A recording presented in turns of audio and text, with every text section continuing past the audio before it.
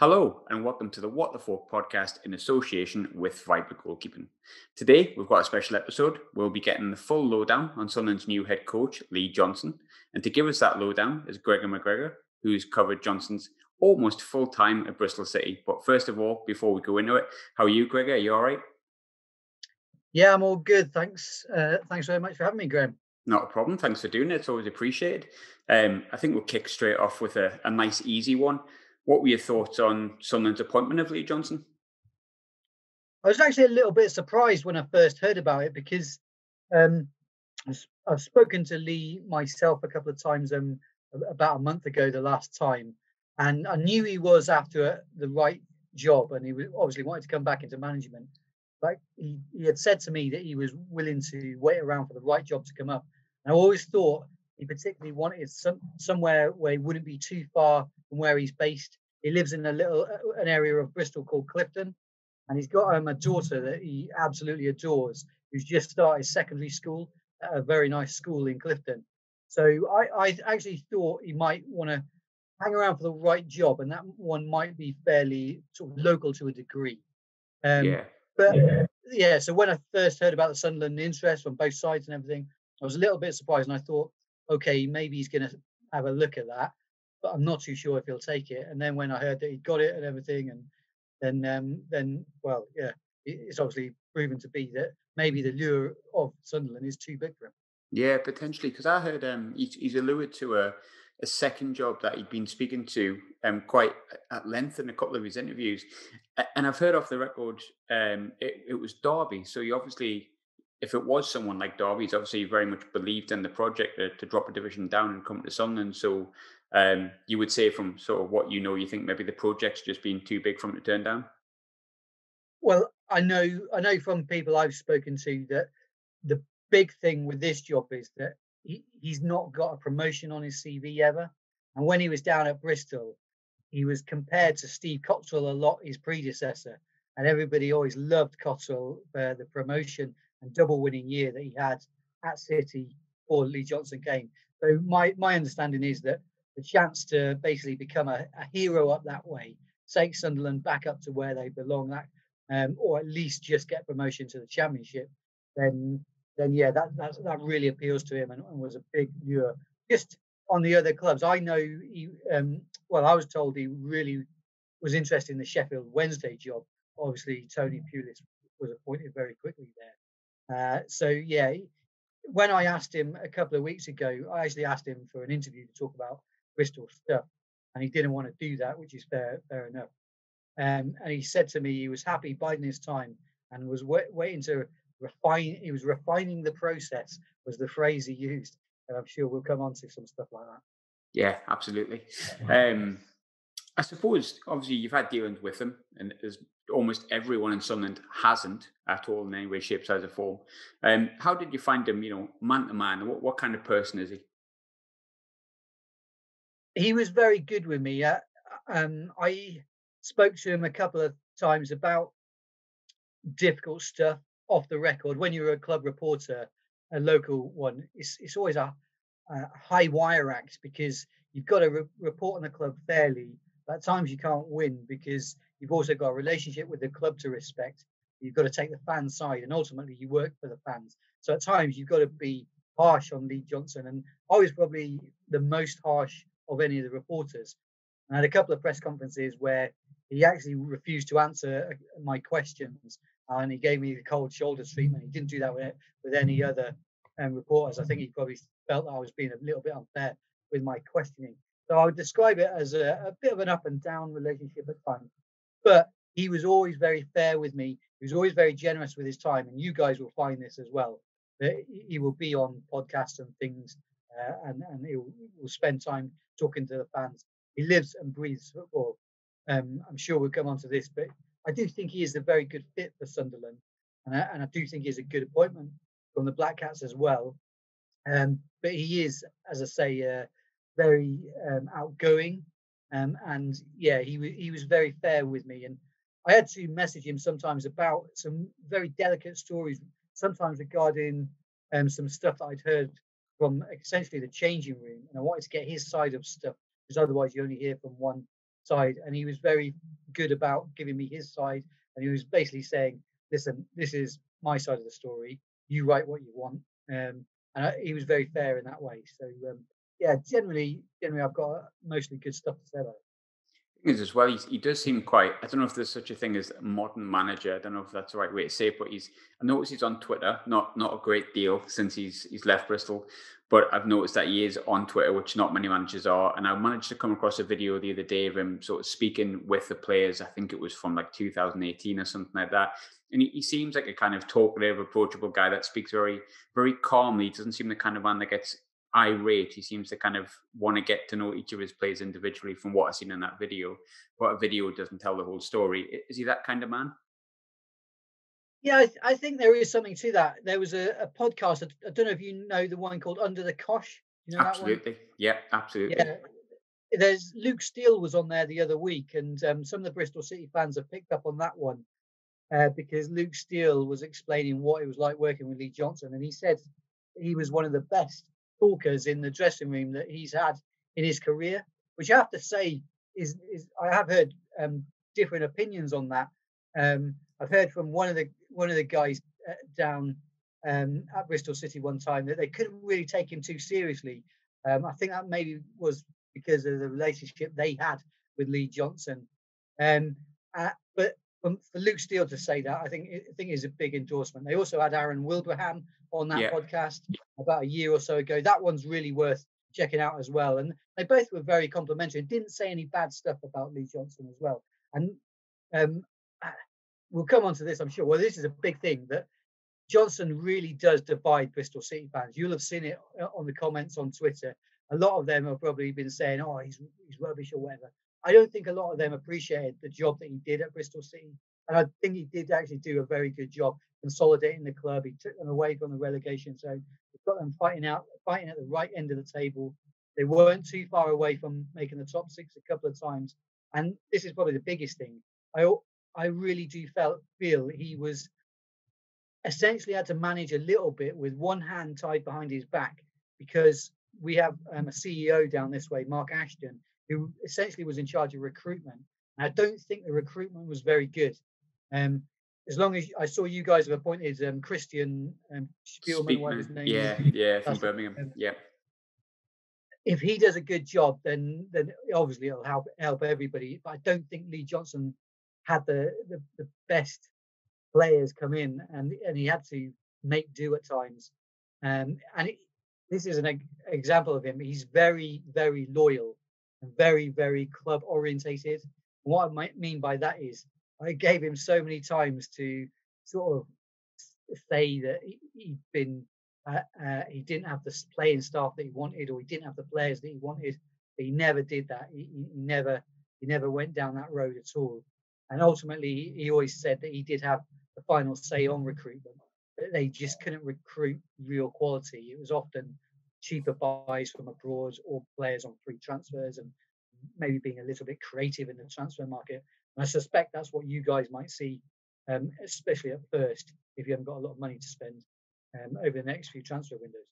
Yeah, and of course we're, we're kind of restricted, I suppose, with the the wages situation in the division as well, which may restrict them as well.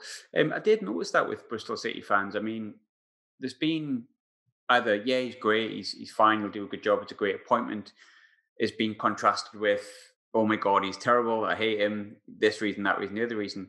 Um, but someone kind of said something in the middle and said the, the problem Lee Johnson had was he was always battling against his reputation as a player for Bristol City and he wasn't massively well liked as a player. Is there an element of truth to that? Absolutely, 100%.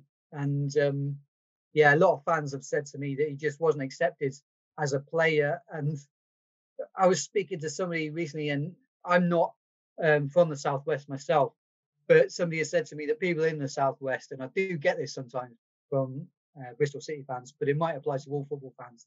They love to moan, and they love to moan about Lee Johnson as a player, and because his dad Gary Johnson was in charge, they just thought it was just too uh, nepotistic that he was involved, and they just couldn't accept him as a player. A lot of them, others saw him as as what he was, in um, uh, a diminutive central midfielder, but with a good range of passing, etc. And he, he had some skills. Um, but he maybe wasn't the, first name on the team sheet or shouldn't have been at times. Um, he did play a big role at the club, and he was part of the, the side that got to the 2008 um, playoff final, very, very close to being promoted to the Premier League, obviously losing to Hull 1 0. Um, but yeah, you're spot on. That, that That's it. A lot of them right from the get go. But the other thing is actually to, to, tie in, you have to understand the context of when he came in. Um, he replaced Steve Cotterill, and Cotterill was loved by the fans because he he romped League One with Bristol City. Cotterill did. He won. He did the double, and he did it playing a brilliant brand of football. They got almost 100 points, and they scored so many goals. They smashed so many teams. Uh, so Cotterill was loved, and then he, Cotterill left without being able to do the recruitment that he wanted, without being able to spend on the likes of Andre Gray, other players he wanted. He had basically had lined up actually to come in, and because of that, the fans then turned against uh, the, the Lansdowns, the owners of the club, who, who didn't want to put that money up front. They didn't want to invest that quickly. They wanted to do it in a different way. So then when they brought Lee Johnson in, the accusation was that Johnson was a yes man. He was going to be, he was just basically the, the, the, owner's pet, if you like. So it's that background that meant a lot of the fans didn't like him from the get go, which is which is always held him back to a degree. And he actually said to me one time, um, off the off the record, but I don't think he would mind me saying this. That would would Alex Neil get the same scrutiny that he did if Neil was in charge of Bristol City? So that kind of hints that he, he, he gets that and he does understand that. This this is another thing about him. He will read all of the feedback and everything he gets. He will speak to people. He's he's um he's very thick skinned, but he will take notice of, of, of things people say and write about. Yeah, interesting. Um, one of the, the big, big things that Sunderland fans will listen to and, and want to know, and I've also noticed a contrast with this as well, is we've dealt with Parkinson for a year and his brand of football is uh, no frills and it didn't really do, it did what it said in the tin without actually doing anything in terms of boosting Sunderland up the league. So it wasn't a good brand of football to watch and the results weren't. Uh, Lee Johnson's come in and a lot of people have said, oh, you know, he's his style of football is really good. It's high press. It's it's uh, the correct way to play football, which I'll say in inverted commas, um, which I don't know if is a correct statement, but nonetheless, but it's a good style, shall we say, a nice style to watch. Um, I've had a few Bristol City fans who commented and said, you know, that's not always true. He, he sort of changed style throughout the years, and he started off really well, and he got compliments off like Pep Guardiola and stuff like that, and then he changed, went defensive, and put ten men behind the ball. But I suppose from a neutral perspective, what is Johnson's style of football and what can Sun- Sunderland fans expect to see? I think at its best, and when when he was able to, it was as he describes it: front foot football, high energy, high press. He, he probably is maybe favoured formation was maybe something like a four-two-three-one, which he, he got his best results with. Um, he, he he attacked a, lot of teams, and I always remember covering the club and going to places like Wolves and the high flying teams over the last couple of years who've gone up to the Premier League, Sheffield United, and it was always a shootout. You got you guys, if you get some of that, you'll you'll see it that games were three two, unfortunately often lo- losses, but at least they really took the game to to the to the bigger teams and they went for it. So yeah, ideally at its best, then um, and when he could, then it was like that. But Lee Johnson was also, also very pragmatic, and it would depend on the personnel that he had. And this is the backdrop to his, to his managing, and what a lot of fans down this way don't take into account when they criticise him uh, for his results and for his football. And I have to say that there there is something um, from what those fans are saying that at times it was very sterile at home. Um, there wasn't a lot of excitement in the home form he wasn't able to get things going in the in the second season. And yeah, their home form over the last two years under Lee Johnson wasn't particularly impressive, and that's probably what held them back from making the top six. And they just didn't create enough chances. But it was mainly because they lost their best players. They constantly sold their best players, and they they had this philosophy where if a big club, club came in, they would sell the players for the right price. They wouldn't hold anybody back, but then they would reinvest that money. And most of the time it worked, but other times you had to be a bit patient and um, give give uh, Johnson a bit of time to bed the new guys in, get the new system working, get everybody used to the way they had to be playing, and uh, just like likewise the the end of the last season, they did exactly that. They sold his captain, Josh Brownhill, who I know he, he didn't want to sell. Um, he wanted to keep him till the summer, but they decided to cash in cash in on him. They had a big bid from Burnley. They reinvested the money in Nahki Wells because they wanted a, a, a 20 goal striker to come in. They got Wells, but Wells hasn't really replicated the form he showed at QPR just yet. And it's taken him a bit of time to gel with his teammates. So, yeah, uh, at his best, and when when it was rocking, Ashton Gate was on fire, and when we had the 2017-18 Carabao Cup run where he beat four Premier League teams, and that was consistent. That when he played his first first um, strongest team in the cups, that he did beat the bigger teams. He had a great record of that. Then then yeah, the football was great. It just wasn't consistent. But I think that probably says a little bit more about his squad than Lee Johnson. Yeah, one of the, the big results that stick out for me, obviously being a Sunderland fan, is uh, as we ended up calling it Bristanbul when we pulled it back from uh, three goals down. And I remember him saying after that that he kind of held his hands up and said it was his fault because he wanted to win the game sort of seven or eight nil.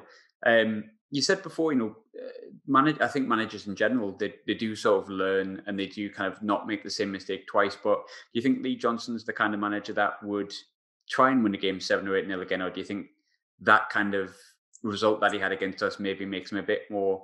Maybe I'll just go for the four. Good question. I does he does he learn? I I don't know. I I'm not too sure he would do. I think he would go for it each time, and and probably ties in more to his philosophy. He he was always big on explaining his his managerial take on uh, on his team having a certain identity, and towards the end of his reign at Bristol City, that identity became diluted, and a lot of fans would say, "What identity?" And um, there are several different reasons for that. I I, I think yeah, it'll be interesting to see if he is a bit more pragmatic while he is up that way.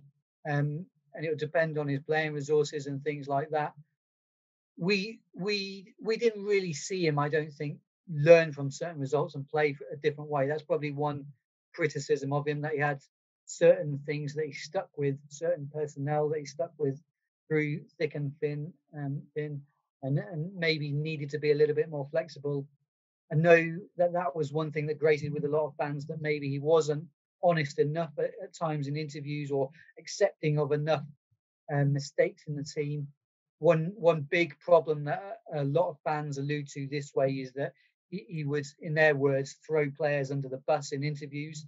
And I thought it was very interesting. Actually, I watched his first interview after your the loss against Wigan at the weekend, and I think that shows why at the very start of the interview he set out who he was talking to. He said, right, this interview is going to be read by three different, uh, listened or watched by three different people, yeah. players, the owners.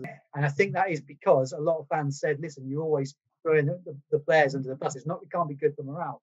And that, in a way, though, is explained by Lee Johnson just being a bit too honest at times. And I do think he is an emotional kind of guy that can go both ways. You you'll see passion on the sidelines, one example of that was um, Blackburn came and won at Ashton Gate this time last year.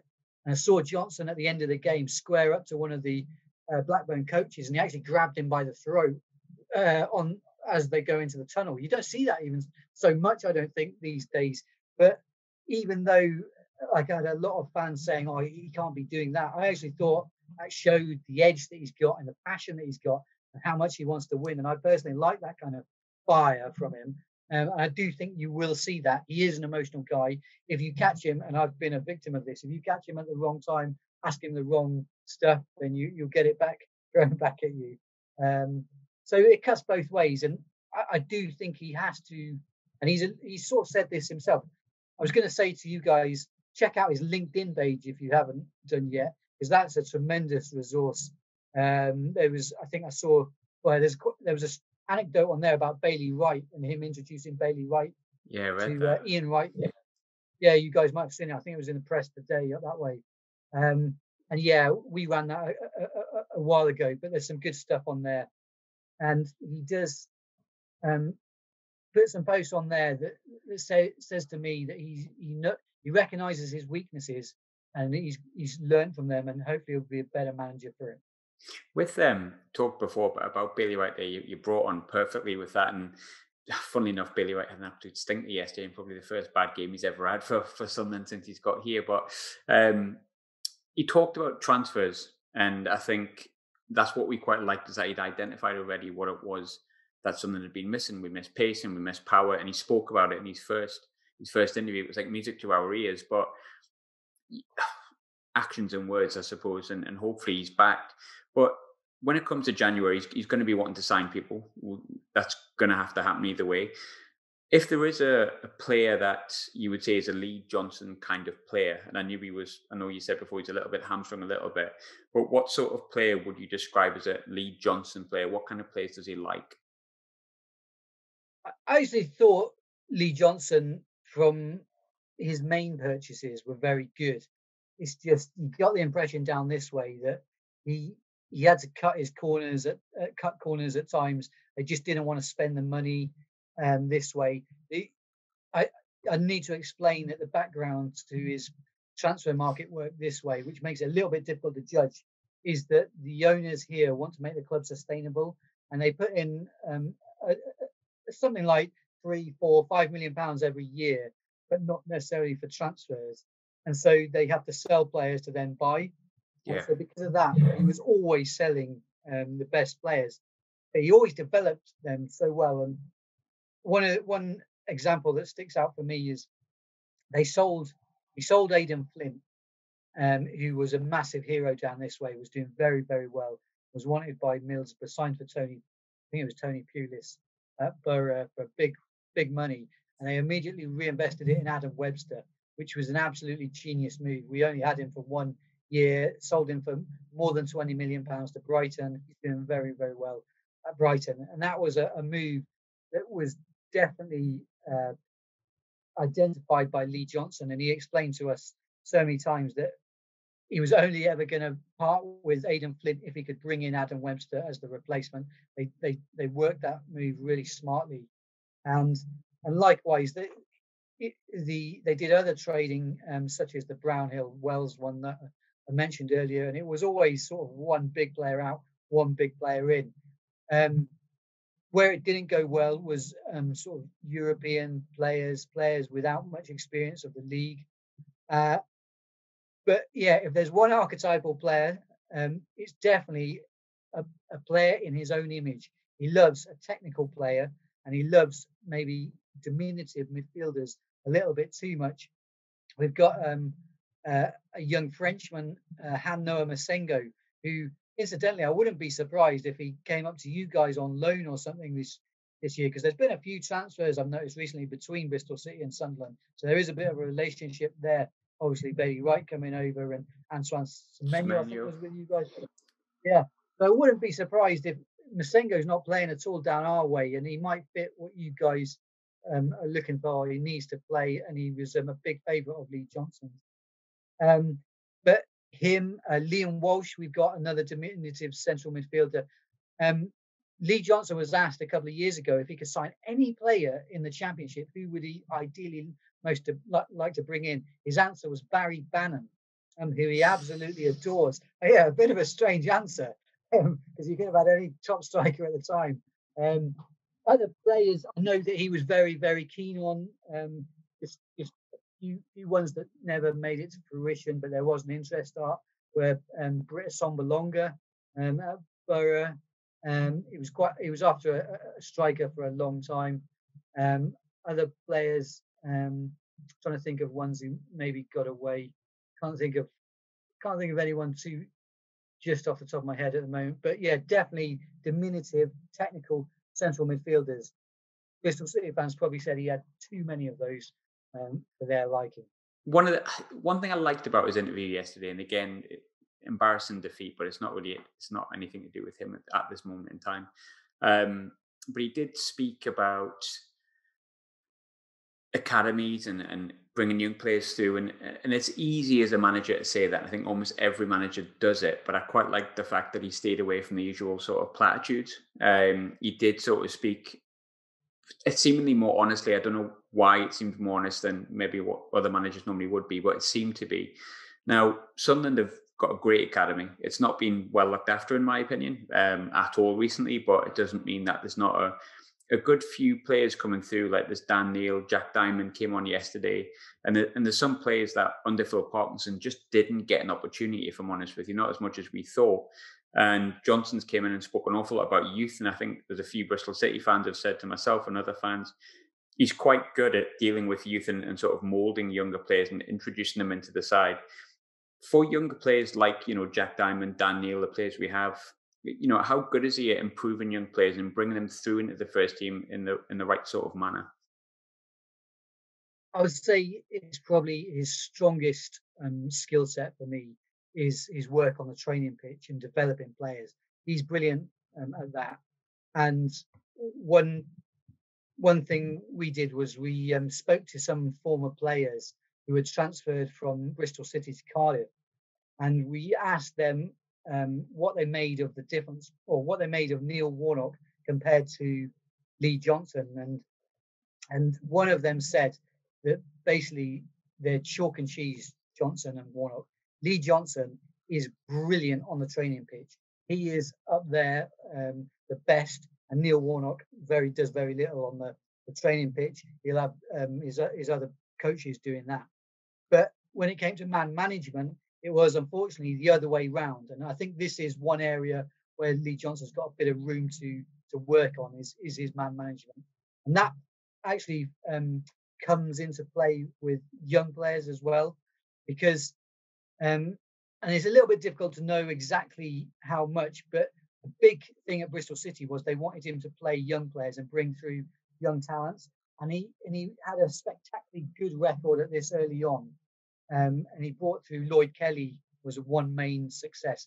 And Lloyd, they did they did brilliantly because they sold Joe Bryan and they brought through Lloyd Kelly and and, and Lee Johnson did fantastic with him.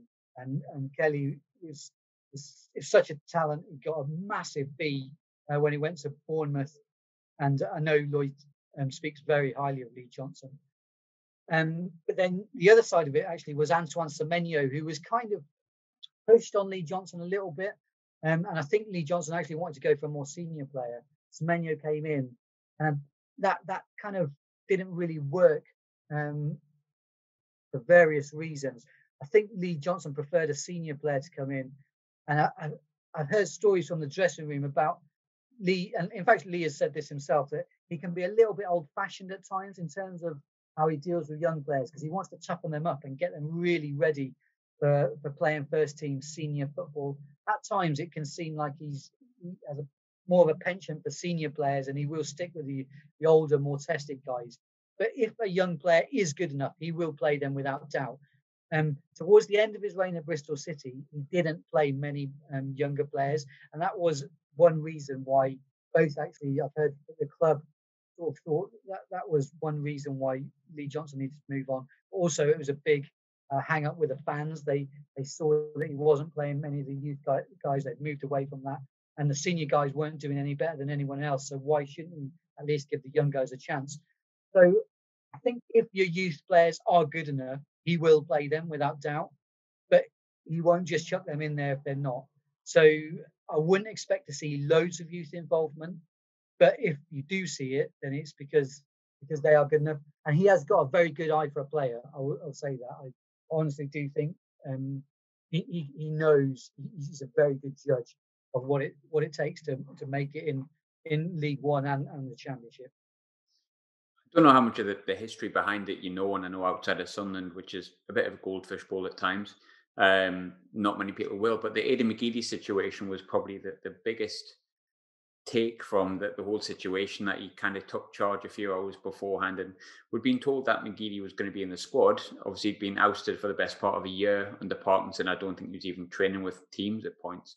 Um, and Johnson said yesterday that he was originally meant to be on the bench and he actually boosted him to the first team because he wanted a clean slate. Um, what do you think his thinking will have been behind that with McGeady? Because McGeady's obviously a, a huge personality that hasn't played for a year. I yeah, I saw that actually, and I read the stories and everything beforehand, and obviously he was picked up on it after the game, and I think it's just as he said. To be honest, just a blank canvas for absolutely everybody. and Lee Johnson is open-minded. I'll I'll give him that. He, I, I, think he would would will really have wanted just to have a look at every single player and give everybody a fair mm. chance. And I have to say, from his time at Bristol City, he was always very good at handling the veteran, senior, and star players. Aden Flint was one. Lee Tomlin, who obviously was at, over at Middlesbrough for a bit, was he was he came in was a bit of a star player um, at Bristol City. He did a fantastic job helping um, Bristol City stay up. Actually, the very first season when Lee Johnson took charge, but after they made his um, per, um, loan deal permanent and he got on this nice big fat contract, his uh, performances tailed off, and he actually had a few personal problems. This is Tomlin. Um, he, he was still living actually in Leicester and he was commuting from Bristol, so his fitness went completely. Um, and they sold him eventually to Cardiff. But throughout all that time, none of this came out at all in the press or anything, um, and there were no complaints at all. And there's never been any complaints from Lee Tomlin about his treatment from Lee Johnson. Lee Johnson did eventually explain all this stuff later on, uh, further down the line. He was very, very clever in his management actually on that. And so I do think that yeah, he, he's very good at handling the senior players. And just because of that, McGeady, he would have come in and he would have identified him as a guy who, if you can get him, I, I saw him saying, if you can get him firing on on, on, on top form, although it might have been a while since you guys have seen that, I don't know, um, then he would be a huge asset. And I, I just think he's open-minded like that. I think that's a, a big thing about him, and he just will have had a look if he doesn't do it, then McGeady will lose his place and, and somebody else will get a chance. With um, Bailey Wright being there already, like how much of a I don't want to say ally because it sounds like it's like him and Bailey versus the rest of the team, but um, having an ally and someone that you know, you mentioned yesterday that he'd, he'd, managed Josh Scowen when he was at Barnsley, but I don't know for how long.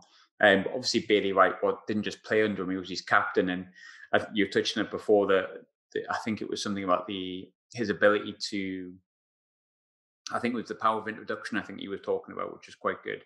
And he really talked Bailey up at that point. How beneficial is it going to be to Lee Johnson to, to sort of have Bailey right there? Because although he's talking up really highly, to a Sunderland fan, you think, well, he's just sold them. So has anything happened there? Or are they quite close as a, as a pairing? Very close. I, I honestly think that would have been massive in him taking the job because he knows that straight away he's got a guy that he promoted to his club captain while he was at Bristol City. So is is he the captain at Sunderland? He's it's actually Max Power, but he's Max Power's been in and out of the team. So I, I would say on the pitch, yeah, yeah, I would say Bailey's Bailey's probably the captain. He's he's vice captain officially. Right. Uh, yeah. No, I completely agree with you there, Graham. And I think that will have been a huge, huge draw for this job, knowing that he's straight away got a senior person on his side. Um, he Bailey Wright had a he was a little bit unfortunate with injuries when he was at Bristol City. Not necessarily always being injured, but just in the timing of them. He would quite often well, he'd play a lot of games, but then he would come up to the important part of the season, he might get an injury. Um, but uh, just before I think it was the 2018 World Cup actually, um, Wright played almost every game at right back, went through a really great run, probably his best form at Bristol City. And he unfortunately got injured just before the World Cup partly because he was playing through the pain barrier for Bristol City. And, and he did that, I, am sure, because of, um, yeah, because how professional he is. And Lee Johnson will have remembered that. He's very, very loyal, Lee Johnson. Um, and yeah, you're spot on. That, that, um, what, what's the, what's the phrase? That relationship between the two of them will be huge and will be a real foundation for Sunderland moving forward, without doubt. Yeah, and I think, oh, like I said, he had a bad game yesterday. I think in the twenty odd games he's played, he's, it's his first bad game. So I think, I think we're all all right with it. We just hope it's not a regular occurrence.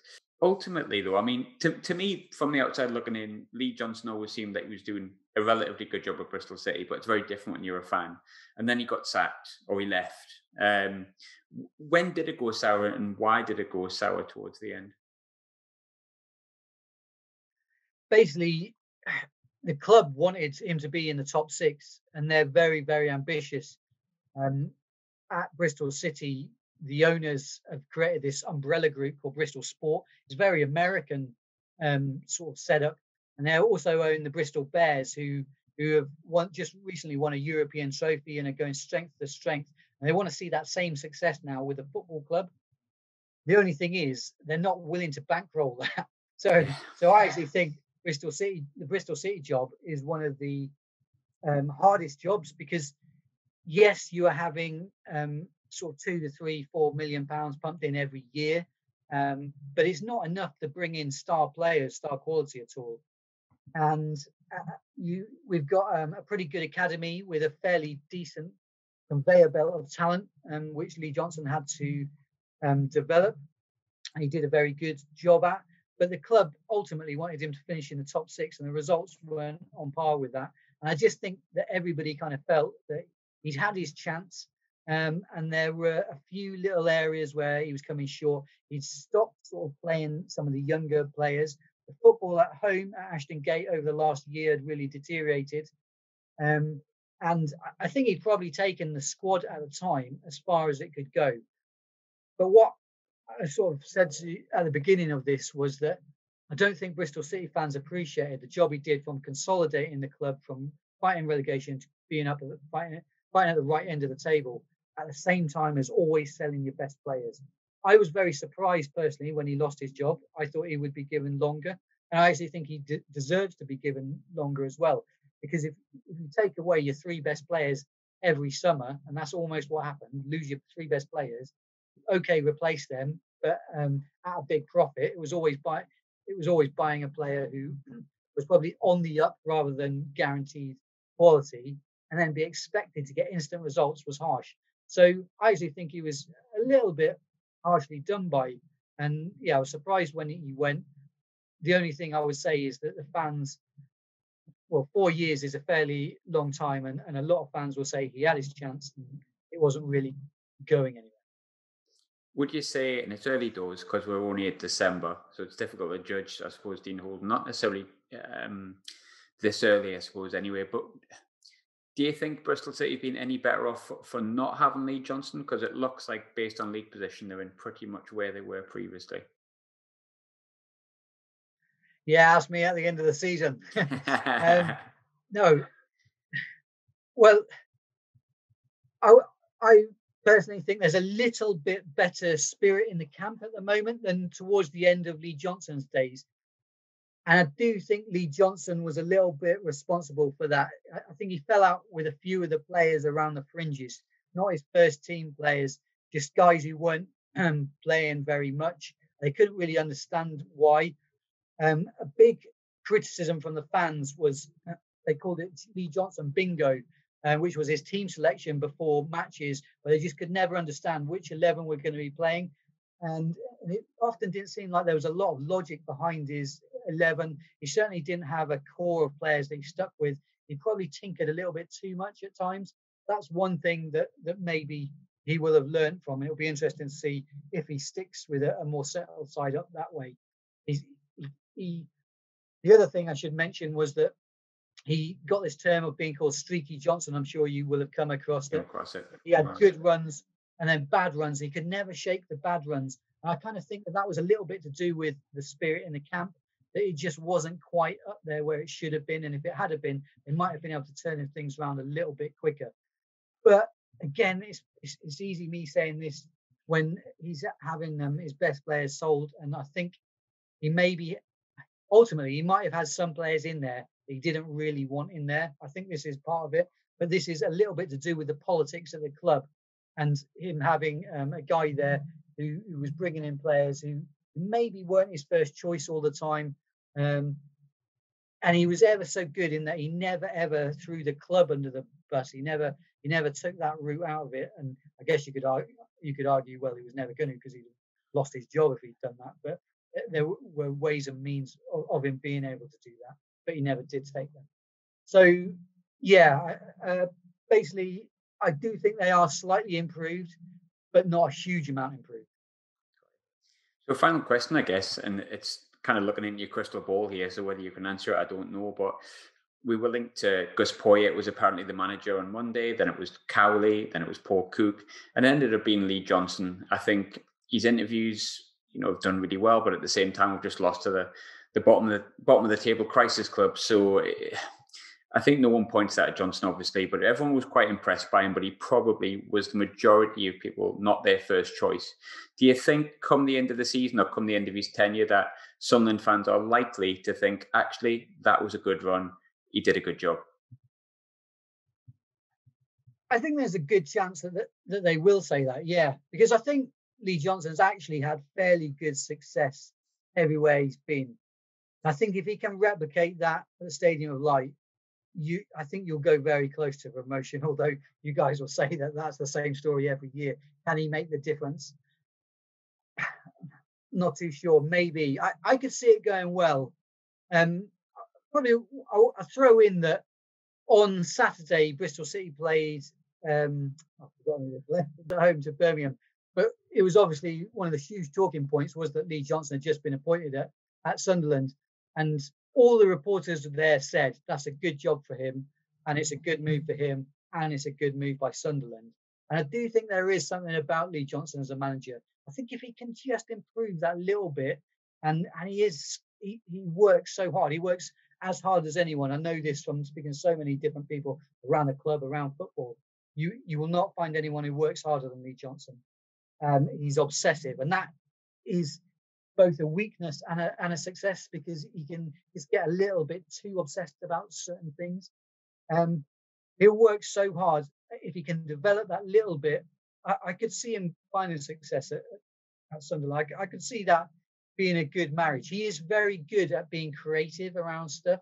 Um, one little, you probably would have come across this story, but Bobby Reid was a young guy, very impressive um, guy who'd come through the academy, and he never had really done anything for the team. And Lee Johnson moved into a slightly different position and suddenly exploded into a 10 million pound player. Um, and now he's yeah playing in the Premier League, impressing with Fulham. He'll he'll if he's got that that kind of player at Sunderland, he'll find them and he'll develop them, and you you you'll get the same. And that was all Lee Johnson, and he's done that with other players. He, he's you look through the players he's worked with, there are so many successes. James Tarkowski, um, was a player that he, he knew very well. Um, obviously brought in from Brentford at Oldham, I think. Um, and yeah, uh, Alfie Mawson, another one from his Barnsley time, now doing a very good job um, at Bristol City actually at the moment. Um, and there are so many success stories. He, give him the time, you can't fail to have more of those stories. He, he will develop players. Um, whether it'll be enough to get you guys promoted, that's the million dollar question. I, I think he it'll come down to a little bit of luck, and I think maybe he is a little due a little bit of luck. And I think he also he is one of those managers who is a little bit lucky at the same time.